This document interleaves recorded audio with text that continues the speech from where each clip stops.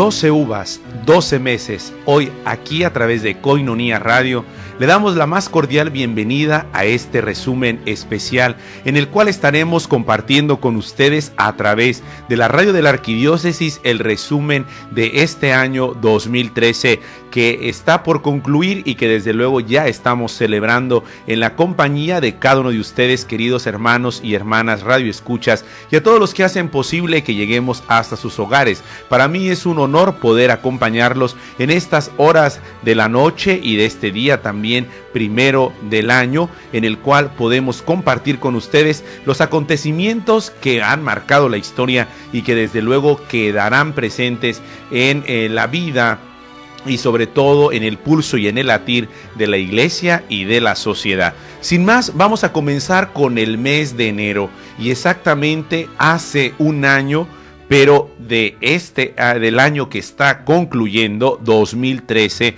en la solemnidad de Santa María, Madre de Dios, el Papa Benedicto en su último Angelus también él recalcó como el primero de enero del año 2013 decía que nos esforzáramos por construir un mundo más justo y fraterno, cada vez más digno del hombre y en el que no hubiera espacio para la guerra, las enemistades y las discordias.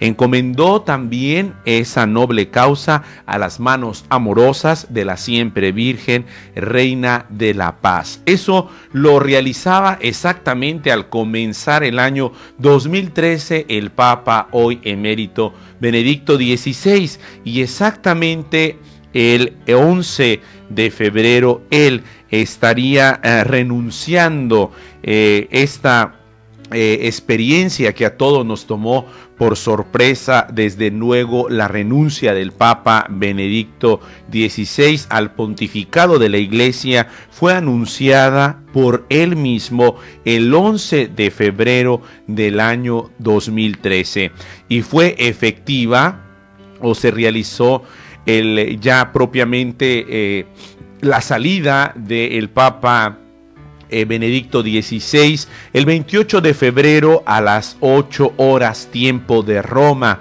¿Quién no recuerda esas imágenes del helicóptero que volaba en la cúpula magna de la Basílica de San Pedro, donde pudimos eh, a través de todo el mundo poder eh, conocer estas imágenes que dieron la vuelta al planeta entero, donde se despedía el Papa Ratzinger, el Papa que eh, había sorprendido a tantos de frente a las situaciones que le tocaba responder, no sin duda desde su inicio eh, había ya tenido dificultades en el contexto en el que había entrado después de la muerte del gran eh, Juan Pablo II, el Magno, el Grande, y bueno, salió electo de aquel cónclave, su pontificado solamente sería exactamente de ocho años y bueno, culminaría aquel 28 de febrero de este año que está culminando exactamente a las 8 de la noche. En ese momento la sede apostólica quedó vacante y dio comienzo un cónclave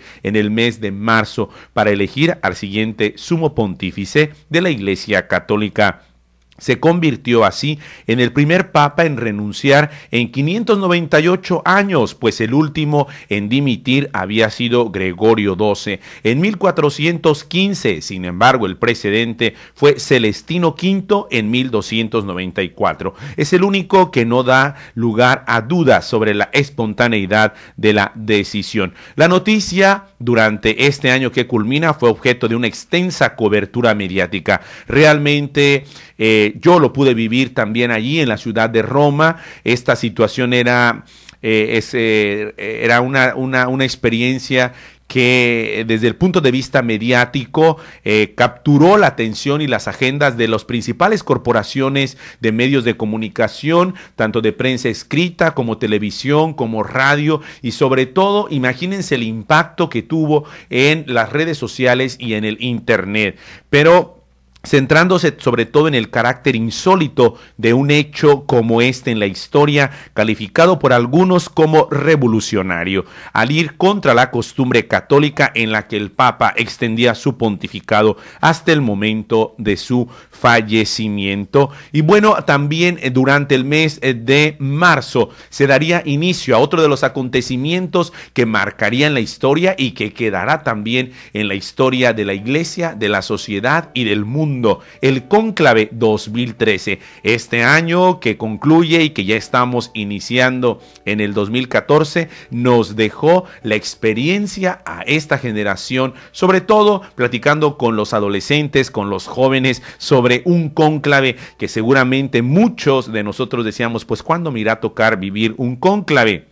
Bueno, ese cónclave inició el 12 de marzo, exactamente a las 5 de la tarde con 40 minutos tiempo de Roma. Se dio eh, la apertura y todos pudimos también ver esas imágenes en las cuales eh, cónclave con llave se pudo cerrar el acceso a ese lugar memorable, que es la capilla Sixtina que albergaba ya desde ese momento, eran las 5.40 de la tarde cuando dio inicio el cónclave y ahí adentro estaba ya el que iba a ser elegido, el Papa Francisco. Sin embargo, no estaba todavía revelado, pero ahí era la decisión de eh, poder el colegio cardenalicio elegir al nuevo pontífice hoy, el Papa Francisco. Tras la quinta votación se dio hacia las 7 con 5 minutos el 13 de marzo. Los miembros del colegio cardenalicio eligieron como el Papa número 266 de la Iglesia Católica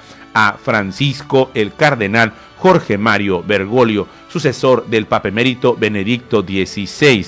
Y bueno, les comparto algunos datos de esta noticia porque el cónclave 2013, según las estadísticas, eh, fueron Europa con 32, eh, también se hace una distinción, Italia fueron 28 cardenales, Sudamérica 13 y Norteamérica 20 cardenales, África 11, Asia y Oceanía 11. El total de electores de este cónclave del año 2013 que está culminando fueron 115 electores, dos cardenales ausentes, sobre todo por cuestiones de salud.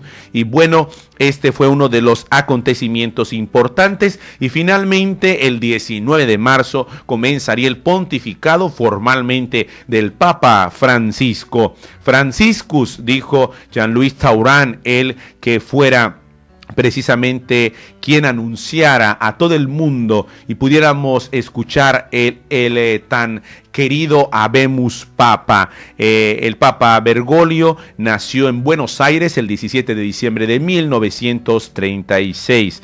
Además, también, eh, bueno, fue ordenado en 1969 y sabemos, tiene una, viene de la congregación de los jesuitas. El Papa Juan Pablo II, hoy beato, fue el que creó al, al obispo Bergoglio como cardenal presbítero de San Roberto Belarmino, el 21 de febrero del año 2001 y exactamente eh, además eh, de eh, su natal español que habla el Papa Francisco fluidamente habla latín, italiano, alemán, francés e inglés. Conocido por su actitud de humildad, su preocupación por los pobres, marginados y sufrientes de distinta extracción y su compromiso de diálogo con personas de diferentes orígenes y credos. Actualmente el Papa Francisco muestra una variedad de gestos pastorales indicativos de sencillez, entre los que se incluye su decisión de residir en la casa de huéspedes conocida como Santa Marta, exactamente ahí, a un costado del aula Pablo VI. Y bueno, a lo largo de este programa estaremos compartiéndoles exactamente enero, febrero y marzo. Estamos llegando a, nuestra primera pausa de este especial 12 uvas, 12 meses aquí a través de Coinonía Radio y bueno, un papa distinto. Realmente a, las 5 de la tarde de aquel 13 eh, de marzo estaría siendo elegido el, eh, el Papa eh, Francisco en el cónclave que se celebró tras la renuncia del Papa Benedicto XVI, elegido eh, o eligiendo como Papa a Jorge Mario Bergoglio Cardenal, quien manifestó su voluntad de ser conocido como Francisco en honor al Santo de Asís. El Papa Bergoglio es el primer Papa de formación jesuística y el primero proveniente del hemisferio sur. Recordemos aquellas palabras memorables, los cardenales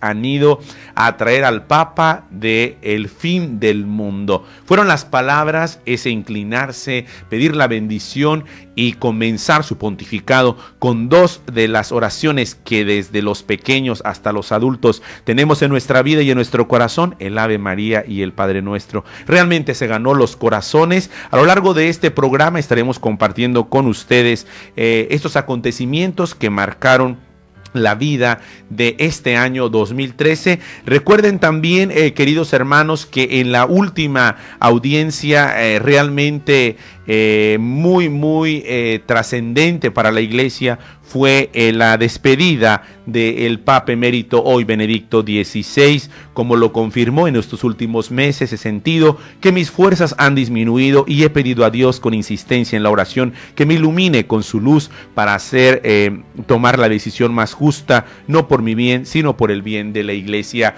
Y así se despedía, siempre diciéndonos, oraré por ustedes y estamos seguros que así lo está haciendo el Papa emérito Benedicto XVI. Bueno, enero, febrero y marzo realmente nos tenían preparada una gran sorpresa. El tiempo es de Dios, de Él es la historia. Sigan acompañándonos aquí a través de Coinonía Radio en este especial de Año Nuevo.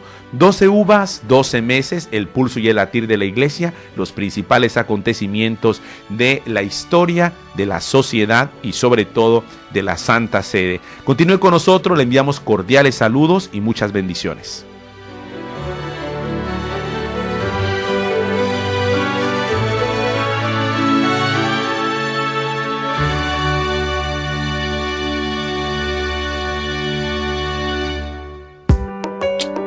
Desayuno Pro Ayuda a Coinonía Radio. Ayúdanos, colabora y diviértete. Este sábado 4 de enero, en punto de las 9 de la mañana en el restaurante La Escondida, celebraremos la Epifanía del Señor con rosca de reyes y celebraremos también el cumpleaños del Padre Jeff. Costo por persona 100 pesos. Desayuno Pro Ayuda a Coinonía Radio. Pide informes al 622 8962. Coinonía Radio la radio de la Arquidiócesis de Tijuana y la Arquidiócesis de Tijuana en tu radio.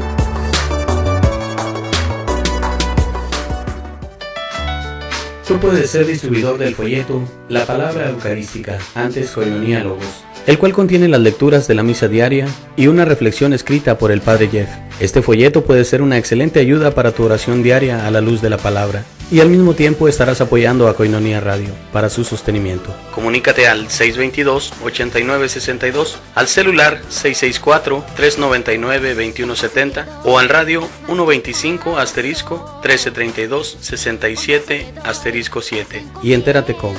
Sea un distribuidor del folleto La Palabra Eucarística en tu parroquia, en tu negocio o en tu comunidad. Comunícate ahora, nosotros los llevamos hasta tu domicilio.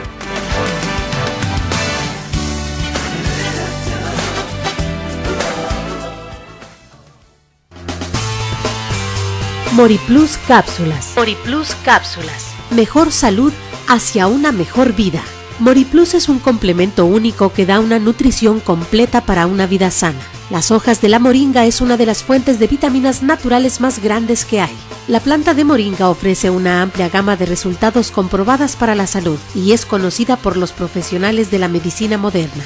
MoriPlus ofrece al consumidor una forma natural para mejorar su nivel de vida y salud. MoriPlus Cápsulas, de venta en Coinonía Radio. Mejor salud, hacia una mejor vida.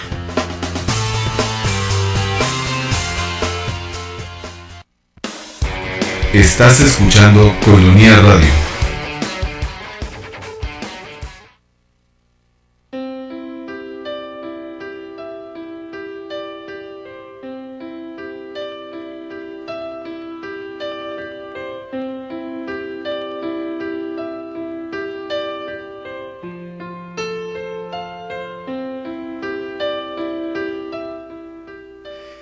Regresamos con ustedes, queridos hermanos, acompañándolos en esta noche de fin de año y sobre todo en este día primero del año también, eh, a través del cual eh, eh, usted nos sigue en Coinonía Radio, la radio de la Arquidiócesis. Para mí es un gusto poder acompañarlos y compartir los acontecimientos, unos o algunos de los que marcaron este año 2013. Y bueno, estamos ya exactamente llegando al mes de abril y ¿quién nos recuerda? Esta situación que parecía ya un poco mm, eh, venirse, por así decirlo, por uno de los gestos que el Papa Francisco habría realizado exactamente a las 5 de la tarde de aquel jueves santo, su primer jueves santo celebrado en la ciudad eterna, en la ciudad de Roma, exactamente en el Instituto Penal para Menores de Casal del Marmo. A las afueras de Roma comenzó la misa in cena domine, la cena del Señor celebrada por el Papa ya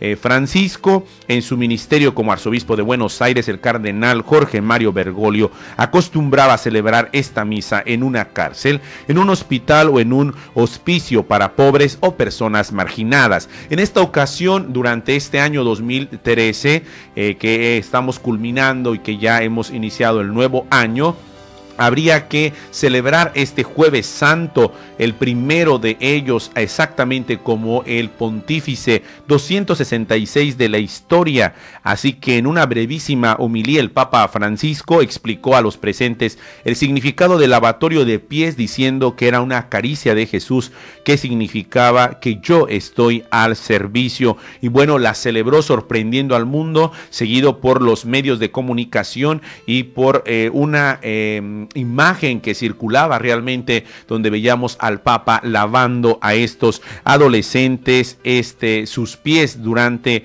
el jueves santo, pero también lo mismo eh, despertó la primer polémica que parecía exactamente entrar eh, a, eh, casi cerca de un mes de haber sido elegido el Papa Francisco, porque había lavado de los pies a dos jóvenes musulmanes, ortodoxo y ateo de África y por lo tanto pues esto implicaba una situación en la cual comenzaron a decir qué es lo que sucede. Esta no es la primera vez, como decíamos que el Papa Bergoglio lavaba los pies a mujeres en el jueves santo cuando era arzobispo de Buenos Aires, Argentina, también lo solía hacer. Eh, exactamente después de un día, eh, durante una rueda de prensa, el padre Federico Lombardi explicó y dio, iluminó este acontecimiento, dando a entender que era una celebración muy particular, obviamente, dentro de una institución como es este centro de readaptación para menores y por lo tanto eh, se podía eh, obviamente realizar este gesto distinto de cómo lo había venido haciendo, por ejemplo, el Papa emérito Benedicto XVI en eh, San Pablo Estramuros o en Santa María la Mayor, donde se eh, celebraba, obviamente, en una ceremonia con otros momentos, aunque es la misma, la Eucaristía, pero al final de cuentas eh, fue siempre el debate, la tensión entre los mismos medios y los especialistas y analistas sobre la cuestión de este famoso lavado de pies a una chica musulmana y a una persona eh, también de otra eh, denominación y este acontecimiento realmente pasa desapercibido, pero bueno, es un buen acontecimiento. Después, en el mes de abril, exactamente el 13 de abril, el Papa nombra el famoso Consejo de ocho asesores para que le ayudaran a gobernar la curia y en este eh, campo las estructuraciones o reestructuraciones que se han estado desarrollando y a un mes exactamente de su elección como pontífice. El 13 de marzo sale electo en el cónclave y el 13 de abril exactamente es cuando él nombra a este grupo formado por ocho cardenales, el del cual es el cardenal Ariaga es eh, actualmente... Eh, el que está de Honduras, el que está llevando la coordinación. Lo hemos seguido a través de este año, el papel también protagónico que han tenido este grupo, este consejo de ocho cardenales. Se trata de una reforma que no solo abre las puertas a una administración más... Em, reestructurada de la iglesia, sino también es probable que eh, dé una redimensión a las funciones que hasta ahora se tenían dentro de la estructura vaticana. Eh, para muchos, dentro de los medios de comunicación, para los especialistas, sobre todo en línea de los vaticanistas, este elemento ha sido monitoreado, ha seguido lo último de este Consejo de Cardenales, ha sido esta comisión, como lo señaló en la rueda de prensa hace unas semanas, todavía antes de las fiestas de Sembrina, el cardenal O'Malley, eh, el cual señaló la situación, eh, él es el cardenal actualmente de eh, Boston, y señaló la comisión que ya se ha dado a conocer para las situaciones de la abusos a menores y la situación de la pedofilia dentro de la institución eclesiástica. Bueno, pasamos al mes de mayo, dejamos abril, pues la Semana Santa primera del Papa Francisco, el primer impacto también que tuvo y bueno, el acontecimiento de esta famosa eh, celebración del lavatorio de pies y bueno, en el mes de mayo hubo un acontecimiento muy importante que fue la vigilia de Pentecostés con los movimientos eclesiales, exactamente el sábado 18 de mayo. Y ahí resaltó el Papa eh, unos eh, momentos importantes, sobre todo porque allí eh, muchos laicos tuvieron la oportunidad, algo que también era interesante, preguntarle algunas cuestiones al Papa. Solamente traigo a colación una que era... Em, le preguntaban, Santo Padre, he oído con emoción las palabras que dijo en la audiencia a los periodistas tras su elección cómo querría una iglesia pobre y para los pobres. Bueno, esta fue una de las preguntas y el Papa contestó, retomo desde el testimonio, ante todo vivir el Evangelio es el principal contribución que podemos dar. La iglesia no es un movimiento político ni una estructura bien organizada, no es esto, no somos una organización no lucrativa o una organización eh, eh, gubernamental. Cuando la iglesia se convierte en una ONG, pierde la sal, no tiene sabor, es solo una organización vacía y en, en esto eh, te necesitamos estar listos porque el diablo nos engaña, porque existe el peligro del eficiente eficienticismo. Una cosa es predicar a Jesús, otra es la eficacia, que significa ser eficaces. No, aquello es otro valor. El valor de la iglesia, fundamentalmente, dijo el Papa Bergoglio en esta ocasión, durante el mes de mayo, es vivir el Evangelio y dar testimonio de nuestra fe. Y bueno, vamos al mes de junio.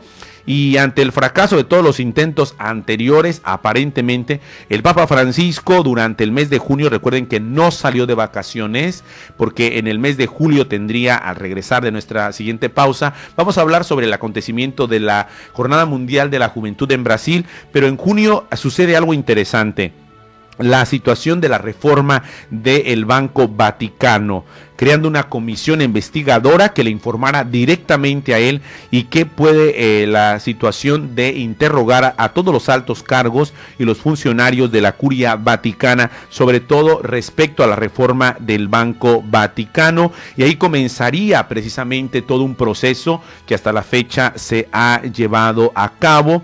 Y bueno, el brevísimo documento manuscrito de puño y letra del Papa Francisco, quirógrafo en la terminología jurídica del Vaticano, es tremendamente innovador en su claridad y en el sistema de trabajo para los especialistas. El objetivo es permitir que los principios del Evangelio penetren en las actividades económicas y financieras. Por lo tanto, el marco es la necesidad de introducir reformas en las instituciones auxiliares de la Santa Sede y así también se lleva a cabo esta reforma durante el mes de junio eh, sobre la cuestión de eh, la banca vaticana y el Papa nombra algunos miembros eh, para esta comisión, sobre todo eh, respecto a la cuestión de la economía de la banca vaticana, entre ellos el cardenal francés Jean-Louis Tauran, antiguo jefe de la diplomacia vaticana, la profesora de Derecho de Harvard, Mary Hans Glendon, antigua embajadora de Estados Unidos en el Vaticano y el actual eh, presidenta de la Pontificia Academia de Ciencias Sociales. Dos mujeres mujeres muy importantes. Esto es eh, realmente interesante porque de repente viene a colación la situación de que si la mujer es que si es marginada dentro de la iglesia, bueno, atención porque eh, dentro de la reestructuración que el Papa hizo en este mes exactamente de junio en la reforma del Banco Vaticano, estuvo a, tuvo a bien nombrar dos mujeres dentro de esta situación. El instrumento de reforma de este banco, que ha acumulado demasiados escándalos o que se habían acumulado en las últimas décadas, es una comisión informativa que recoge datos sobre la situación jurídica y las actividades de este Instituto para las Obras Religiosas, formado por cinco personalidades que informan constantemente al Papa de modo continuo y que al final le entregarían toda una eh, documentación reunida sobre esta situación. Para que nos demos una idea, esta Banca Vaticana tiene 112 empleados, 12 ventanillas y 19 mil cuentas corrientes y depósitos totales por un valor de unos 6 mil millones de euros. Por lo tanto, el Papa Francisco tomó esta situación durante este año, eh, que exactamente fue en el mes de junio. Y bueno, así recorrimos abril, mayo y junio, acontecimientos importantísimos, la Semana Santa del Papa, la reforma del Vaticano, el encuentro con los movimientos laicales ahí en la ciudad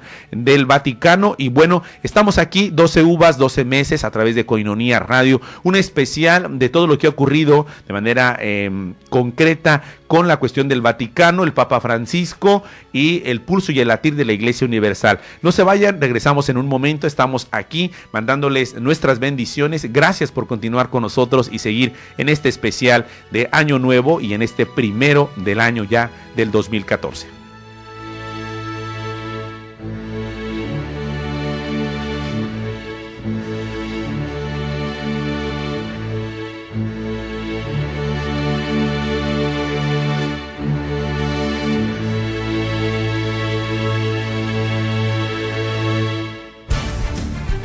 Agenda Vaticana, un programa con información que interesa al mundo católico.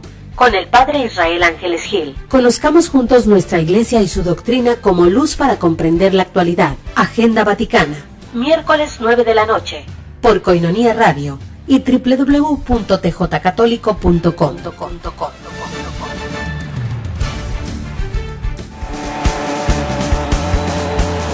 Este es tu programa Yuka. ¡Ey! ¿Qué es eso? Para descubrirlo, escúchanos todos los jueves a las 10 de la noche. ¿Por dónde? A través de Coinonía Radio o tjcatólico.com. Yuca, yuca, yuca.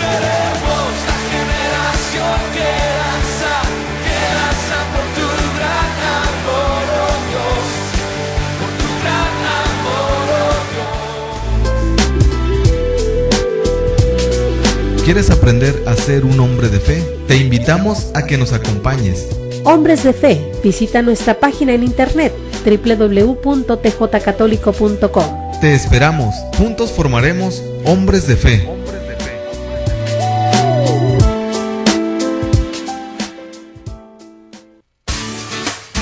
Pasos, un camino a una relación más profunda con Jesucristo y el camino para sanar la vida compulsiva.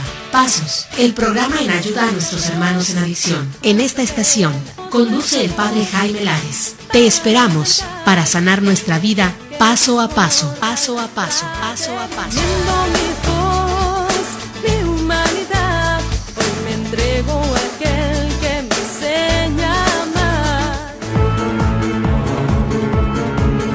Análisis, investigación, debate, opinión, todo en un mismo programa, con especialistas en diversos temas sociales y religiosos. Tiempo de análisis, sábados de 4 a 6 de la tarde por Coinonía Media. Tiempo de análisis. Escúchanos.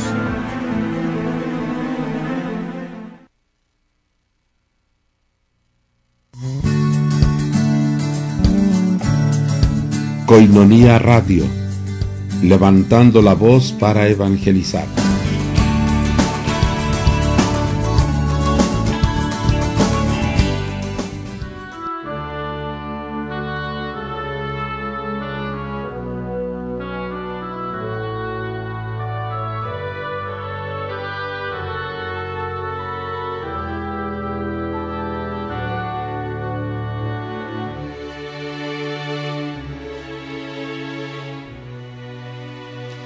Gracias por continuar con nosotros. Es un gusto poderle llevar a cabo este resumen del año 2013 con los principales acontecimientos, 12 uvas, 12 meses, tiempo de gracia y de bendición aquí a través de Coinonía Radio, poder compartir con ustedes acontecimientos que marcaron la historia, que desde luego continúan su rumbo y su camino y lo continuarán aquí a través de este año que ya hemos recibido, que estamos por recibir el año 2014. Y bien, llegamos al mes de julio y primera jornada mundial de la juventud eh, ¿Quién iba a pensar que el Papa Benedicto XVI, Joseph Ratzinger, no estaría ya en la Jornada Mundial de la Juventud? ¿Quién le tocara convocar a esa famosa jornada en uno de los países con mayor número de católicos como es Brasil. Y bueno, la sorpresa, el soplo del Espíritu que nos daría ese famoso 13 de marzo.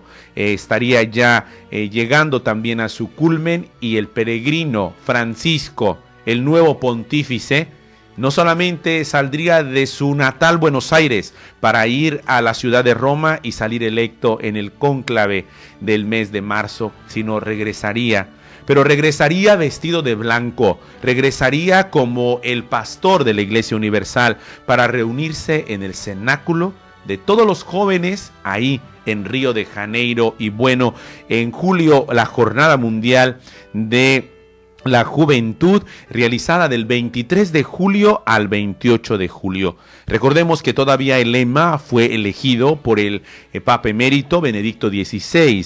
Vayan y hagan discípulos a todos los pueblos. Tomada del Evangelio de Mateo en el capítulo 28. La Jornada Mundial de la Juventud 2013 se realizó en Río de Janeiro y configuró la 28 edición de este evento realmente multitudinario que organiza la Iglesia Católica de forma periódica y que convocó a los jóvenes de todo el mundo en torno a la figura del sumo pontífice, en este caso el Papa Francisco. Esta jornada en particular se consideró histórica por haberse constituido con motivo y marco del primer viaje del Papa Francisco a las tierras de Brasil, al extranjero, en el quinto mes de su pontificado y por el nivel de participación en sus actos centrales, se estimó según las cifras que esta Jornada Mundial de la Juventud celebrada en el mes de julio para la vigilia de oración eran 2 millones y más de 3 millones de personas las que estaban concentradas. Y para la misa de cierre un aproximado de 3 millones de personas, incluso se habló de más con un informe de hasta 3.7 millones de participantes. En una jornada que se consideró la segunda más grande luego de aquella famosa Jornada Mundial de la Juventud de 1990 realizada en Manila, Filipinas. Los peregrinos registrados oficialmente procedían de 175 países, siendo el 60% de los peregrinos en esta Jornada Mundial de la Juventud en Brasil de entre 19 y 35 años de edad. El mayor número de participantes provino de Brasil, Argentina, Estados Unidos, Chile e Italia. Así que bueno, el Papa Francisco le tocó uno de los acontecimientos, además de esa famosa expresión, hagan lío, queridos jóvenes, hagan lío, muéstrense, salgan y demostrar eh, palabras realmente contundentes de fortaleza y de ánimo a la generación joven de este momento. Recordemos que durante esta visita de la Jornada Mundial de la Juventud, también el Papa, la mañana del 25 de julio, el Papa Francisco celebró una misa en la Em, en uno de los lugares que eh, también visitó, que fue la favela Varginha, uno de los barrios más pobres de Brasil. En general, las favelas que atraen a los visitantes internacionales, deportistas profesionales, políticos, actores o estrellas del espectáculo, son aquellas ubicadas sobre los morros que dominan los barrios ricos con una hermosa vista al mar. En esta ocasión, el Papa Francisco no eligió una favela de este tipo, una zona realmente de muchísima necesidad, que es la favela Que fue la que visitó.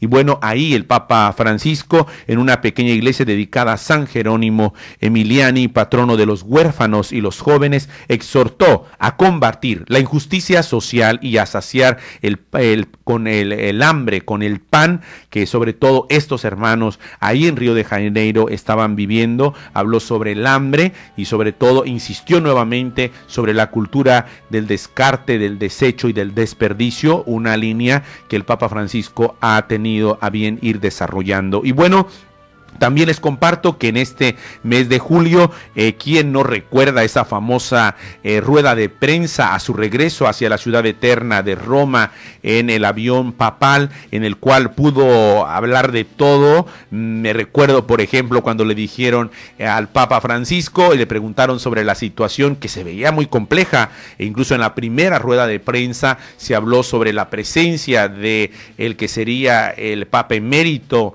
a una especie como de sombra dentro del Vaticano y después de meses exactamente sale nuevamente esta pregunta ahí en el avión de regreso a Roma en esta eh, rueda de prensa que dio después de la Jornada Mundial de la Juventud y dijo de una manera extraordinaria y muy sincera, como ha, venido, eh, ha sido calificado el Papa Francisco, dijo, ¿quién de nosotros no tiene un abuelo en casa?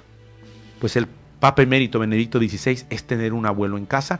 No lo ha podido manifestar también en el desayuno, cuando se reúnen para estar juntos, cuando lo visita exactamente. Bueno, ahí está. Y además le hicieron otra pregunta.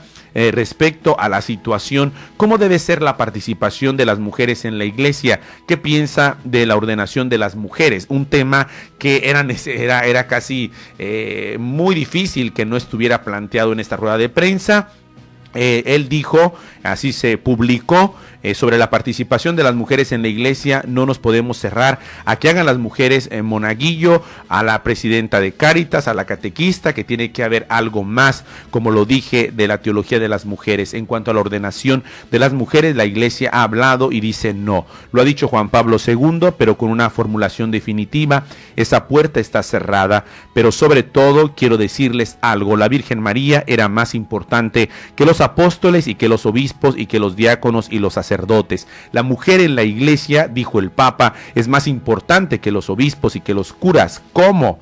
Esto es lo que debemos tratar de explicar mejor. Creo que falta una explicación teológica sobre esto. Fue la respuesta que se publicó de esa entrevista. Y así llegamos al mes de agosto. En agosto exactamente, el 19 de agosto, cerca de las 10 de la mañana, el Papa realizaría su primera entrevista eh, bastante amplia que después en el mes de septiembre se dio a conocer y fue la entrevista que concedió obviamente a una de las revistas más importantes, Civiltà Católica, de eh, que pertenece a la comunidad de jesuitas. El lunes 19 de agosto el Papa Francisco, como lo dice Antonio Spadaro, que es el director general de esta revista, eh, que fue quien lo entrevistó. Él eh, narra en algunos de los artículos de prensa eh, cómo vivió este momento con el Papa Francisco, una cita para las cerca de 10 de la mañana en Santa Marta. Sin embargo, quizá por herencia paterna siento la necesidad de llegar siempre con alguna anticipación. Las personas que me acogen me hacen esperar en una salita, la espera es breve y tras un momento alguien me acompaña a subir el ascensor. En dos minutos me ha venido a la memoria la propuesta que surgió en Lisboa durante una reunión de directores de algunas revistas de la Compañía de Jesús. Ahí surgió la idea de publicar todos a la vez una entrevista al Papa. Hablando con los demás directores, formulamos algunas preguntas que pudiesen expresar interés común. Salgo del ascensor y veo al Papa, que me esperaba ya junto a la puerta. En realidad, tengo la curiosa impresión de no haber atravesado puerta alguna. Cuando entré a su habitación, el Papa eh, ofrece me siente en una butaca,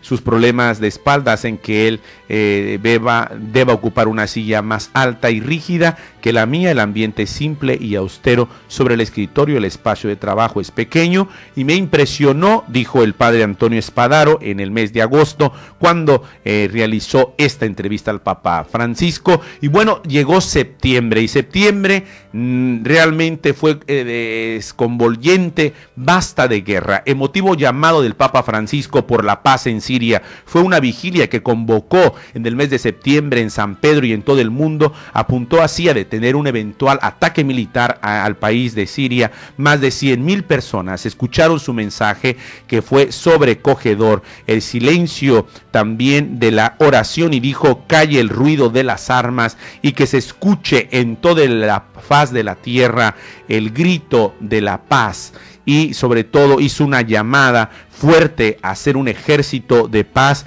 en la movilización mundial que fue el núcleo central para que no se llevara a cabo esa guerra. Aún recordamos las papas del perdón, las palabras del Papa Francisco. Quisiera pedir al Señor que cada hombre y mujer de buena voluntad gritara con fuerza, la violencia no es jamás el camino hacia la paz. Lo decía el Papa en el mes de septiembre cuando, hizo ese gran llamado a la paz una situación que amenazaba exactamente eh, la cuestión de una, de una guerra y bueno, ese fue un boom realmente en los medios de comunicación. La guerra tiene lenguaje de la muerte, dijo el Papa y repitió también basta de guerra para detener la intervención armada de Estados Unidos en Siria que parecía casi casi inevitable. Y bueno, así también eh, llegamos al mes de septiembre, donde eh, provoca, eh, por así decirlo, la primera revolución a través del grito de la paz. Basta la guerra y que se escuche y resuene en todo el planeta el grito de la paz y silenciar las armas. Dijo, formemos un ejército de paz. Fueron las palabras del Papa en el mes de septiembre. Regresamos en un momento, no se vayan, 12 uvas, 12 meses un especial a través de Coinonía Radio de los acontecimientos de este año 2013.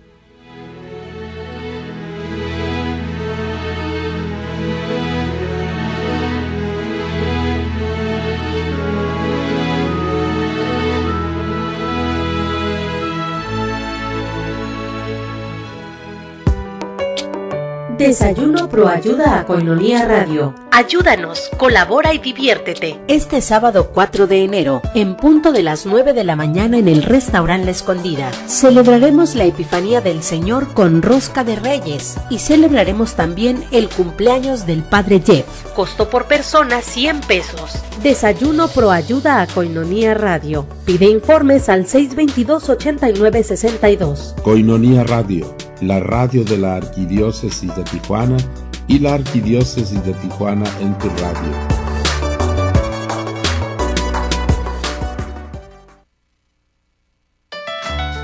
Tú puedes ser distribuidor del folleto La Palabra Eucarística, antes Coinonía Logos el cual contiene las lecturas de la misa diaria y una reflexión escrita por el Padre Jeff. Este folleto puede ser una excelente ayuda para tu oración diaria a la luz de la palabra y al mismo tiempo estarás apoyando a Coinonía Radio para su sostenimiento. Comunícate al 622-8962, al celular 664-399-2170 o al radio 125 asterisco 1332 67 asterisco 7 y entérate cómo. Sea un distribuidor del folleto La Palabra Eucarística en tu parroquia, en tu negocio o en tu comunidad. Comunícate ahora.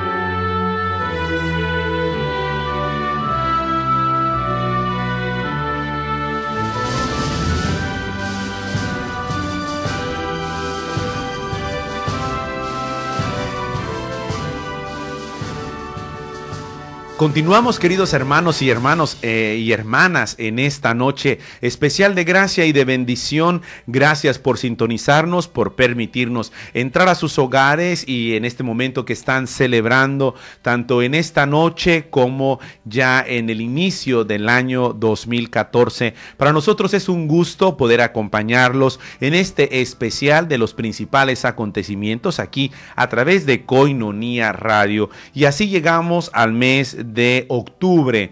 Un acontecimiento que también acompañó a la Santa Sede, la agenda del Papa Francisco. El pulso y el latir de la iglesia fue la visita del Papa Francisco Asís, donde estaría precisamente encontrándose eh, a Francisco de Asís, el pobre.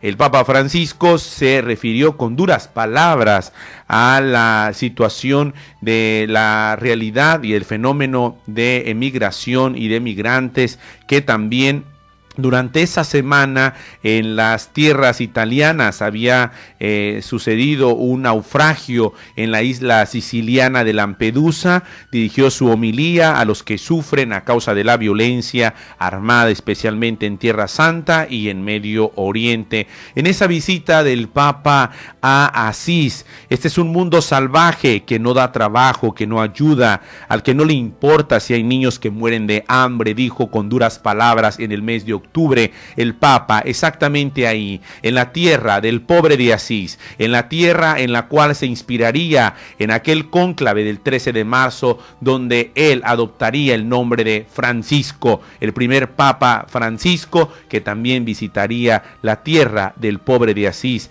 ahí donde se fraguó esta gran obra de eh, la vida franciscana. Francisco, quien tomó su nombre como papa inspirado por la vida y la obra de San Francisco de Asís, resaltó la humildad de corazón de ese santo e invitó a los millones de feligreses que se reunieron durante el mes de octubre ahí en Asís a seguir sus pasos y sus enseñanzas. El Papa dijo, la paz de Francisco es la de Cristo.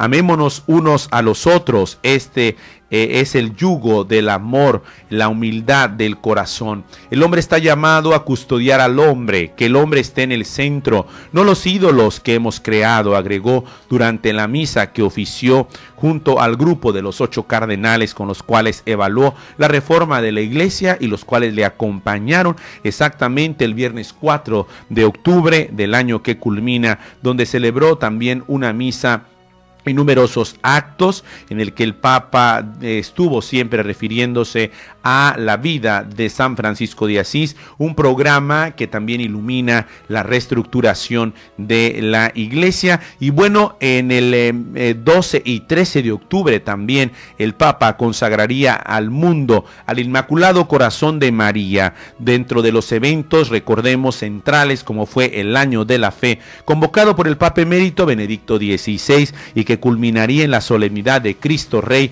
el pasado 24 de noviembre.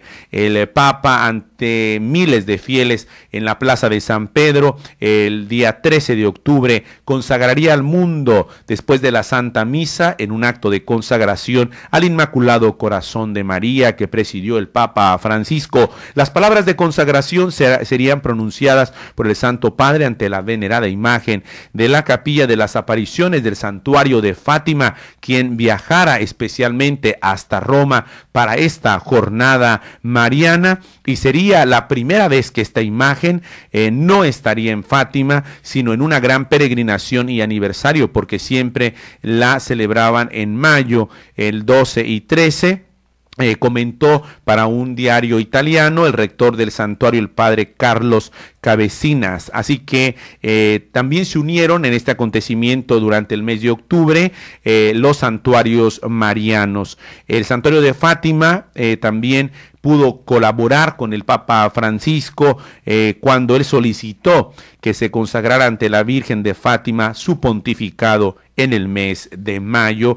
Y así también se pudo vivir este momento durante el mes de octubre, la consagración al Inmaculado Corazón de María del mundo entero. Llegamos también a noviembre, el Papa Francisco, ella era el más popular en Internet durante el 2003, esto fue anunciado exactamente el 13 de noviembre, el pontífice era la persona de la que más se hablaba ya en Internet, en Twitter, en Facebook, Facebook y al menos en los sitios en inglés, según una de las consultoras principales. Ya era oficial que el Papa Francisco fuera la persona en el mes de noviembre de la que más se hablara en internet. Eh, más personas hablaron sobre el popular pontífice este año que sobre él es contratista de la Agencia de Seguridad Nacional de Estados Unidos, Edward Sowen, eh, la duquesa de Cambridge, eh, Catalina Middleton e incluso Miley Cyrus. Así que bueno, en el mes de noviembre el Papa Francisco sería el más popular en internet y desde luego con su cuenta de Twitter del Papa arroba pontifex eh, fue la cuarta sobre la que se habló más en el mundo durante el 2013 y bueno, este elemento también iría acompañado, pero tres días después, el 16 de noviembre, eh, premiarían al Papa Francisco como el comunicador del año. El Instituto Europeo Tercer Milenio otorgó al Papa Francisco eh, durante el mes de noviembre el premio Comunicación Simple y reconoció al pontífice como comunicador del año. Hace 10 años en Roma, esta organización ofrecería servicios de consultoría y formación en el campo de la comunicación.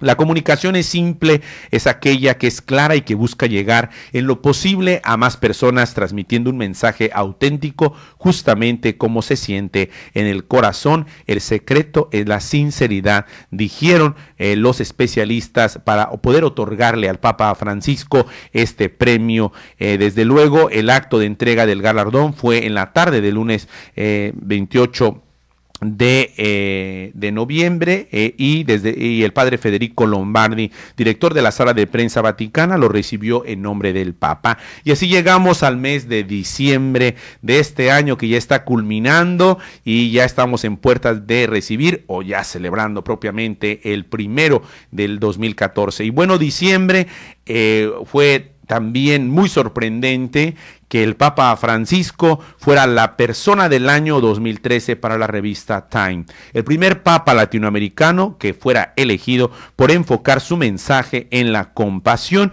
Esto se dio a conocer el 11 de diciembre de este año que culmina por su enfoque en la compasión pese a estar en el trono más elevado de la tierra, destacó la revista Times, un líder sin un ejército ni armas y la rapidez con la que ha dado esperanzas a millones de personas que desconfiaban ya de esta institución eclesial. El Papa Francisco fue elegido como la persona del año por esta revista Times y tomó el nombre de su santo humilde y luego pidió una iglesia de sanación.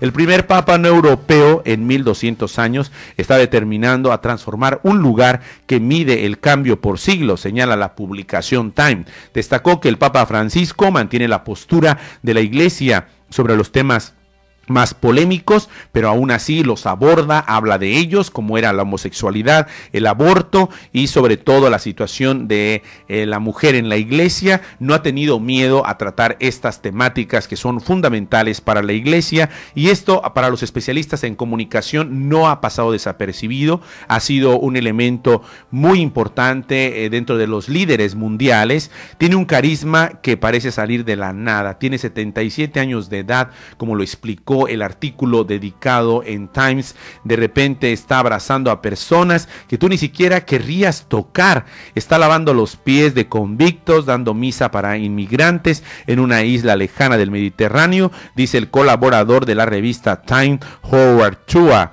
Eon en un video para explicar por qué la publicación eligió al Papa Francisco como el personaje del año. Así que eh, uno de los candidatos era Edward Snowden, el excontratista de la Agencia Nacional de Seguridad estadounidense. Eh, recordemos que filtró documentos confidenciales a la prensa. Eh, Bachar al-Assad, el, letal tirano, presidente de Siria. Edith Winston, la activista de los derechos de cuestiones de homosexualidad. Y el senador republicano Ted Cruz. Pero ninguno llegó, solamente el Papa Francisco, a ser el personaje del año. Y bueno, hemos comenzado con las palabras eh, en este resumen del año 2013, el pulso y el latir de la iglesia, la Santa Sede, el Papa Francisco, con las palabras de aquel primero de enero del 2013 del Papa ahora emérito Benedicto XVI. Hoy las queremos concluir para acompañarlos a cada uno de ustedes. Hace exactamente unas horas en la ciudad de Roma, el Papa ya ha dado su primer Te Deum, en las primeras vísperas y la celebración de acción de gracias por este año eh, que ya ha vivido 2013 que culmina, 2014 que comienza. El Papa ha dicho un año que ha pasado no termina, pero se cumple. Cada momento de nuestra vida no es provisorio, es definitivo y cada acción nuestra está cargada de eternidad mientras llega a su término este año 2013 y abrimos las puertas al 2014, indicó el Santo Padre, recogemos como en un cesto los días, las semanas, los meses que hemos vivido para ofrecer todo al Señor y preguntarnos, ¿cómo hemos vivido el tiempo que Él nos ha donado? ¿Lo hemos vivido sobre todo para nosotros mismos, para nuestros intereses o hemos sabido usarlo también para los otros? ¿Cuánto tiempo hemos reservado para estar con Él en la oración, en el silencio, en la adoración. Son las palabras con las cuales queremos dejarlos. Siga con nosotros en esta noche especial, en este día primero del año y desde luego nuestras bendiciones. Un abrazo fraternal. Gracias por continuar con nosotros en este día y de manera especial bendiciones para su familia. Y continúe con nosotros aquí en Coinonía Radio en este especial de Año Nuevo. Bendiciones y mucha paz para sus corazones.